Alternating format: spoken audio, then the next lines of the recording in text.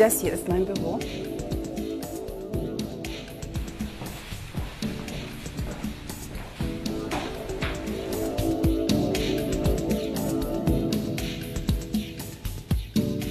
Hier erledige ich meine Geschäftskorrespondenz, ich treffe meine Geschäftspartner, alles was per Internet läuft und natürlich auch manchmal zu einem kleinen Gespräch mit Geschäftsfreunden kann man sich auch dort zurückziehen.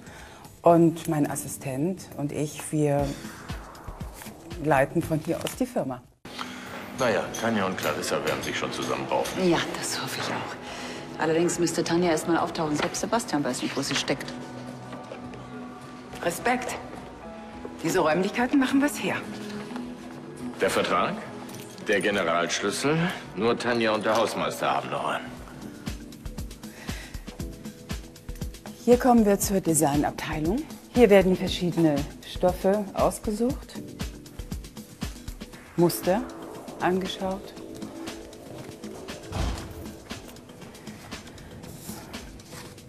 Stilrichtungen designt und entworfen. Verschiedene Farben von Nähgarn. Alles, was man braucht, um Kleider zu entwerfen und zu nähen. Gräfin Ansteppen hat doch die organisatorischen Abläufe der Firma neu strukturiert. Das, das hört mir niemals bis zur Eröffnung. In meiner Firma arbeiten nur die Besten. Wenn Sie das überfordert, da ist die Tür. In einer Stunde erwarte ich die ersten Entwürfe.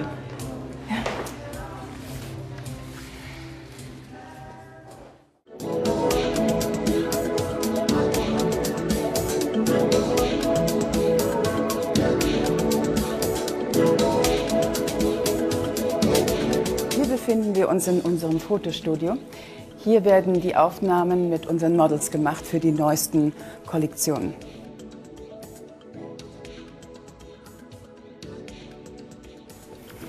Das hier ist mein Penthouse. Hier wohne ich. Meine Enkel sind bei mir eingezogen.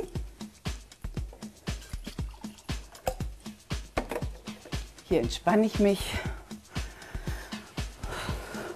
und genieße den Blick über Düsseldorf. Ja, das Set ist ganz großartig und das inspiriert auch und ähm, dann fällt es nicht schwer, eine, eine sagen wir mal, ähm, reiche Dame der Düsseldorfer Gesellschaft zu spielen, wenn man die, das richtige Ambiente hat.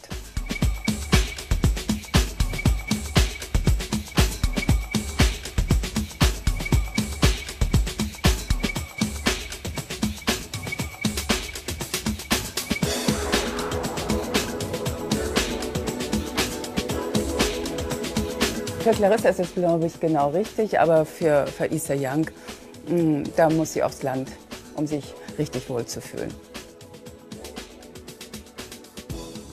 Ich habe es sehr gerne großzügig. Was ich besonders hübsch finde, ist dieses Bullauge hier.